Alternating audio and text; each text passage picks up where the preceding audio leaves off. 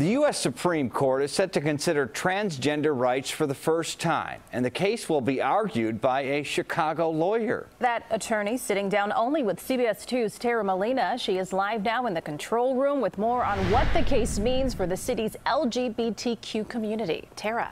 Brad and Erica, this case and two others could affect thousands of workplaces. With this case asking the question, is transgender status discrimination sex discrimination? It honestly feels like I am constantly having to defend who I am as a person. Tatiana Moten, who works in human resources, fights for workers' rights every day. But as a trans woman living in Chicago, there's another battle close to her heart the right to be transgender at work. The federal laws. This is the man uh, taking it to the nation's highest court.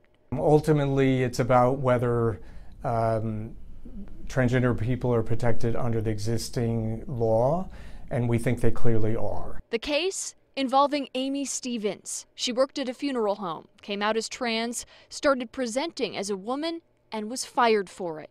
It happened in 2013, and a long legal battle she didn't expect followed, all the way to the High Court, with our Supreme Court justices now set to answer this question does federal law bar employees from discriminating against gay and transgender people?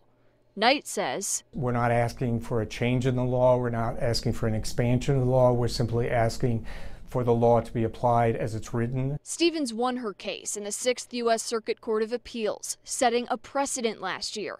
But the Department of Justice filed a brief in the Supreme Court saying transgender discrimination is not prohibited by Title VII.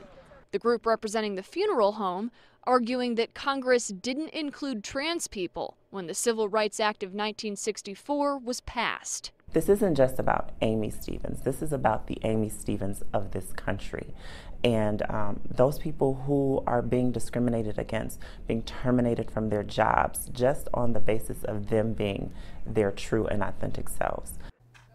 Now, it's important to note that here in Illinois, we have a state law that explicitly protects transgender people. The Supreme Court is set to hear this case this October. Reporting live in the control room tonight, I'm Tara Molina, CBS 2 News. Brad and Erica. Tara, thank you.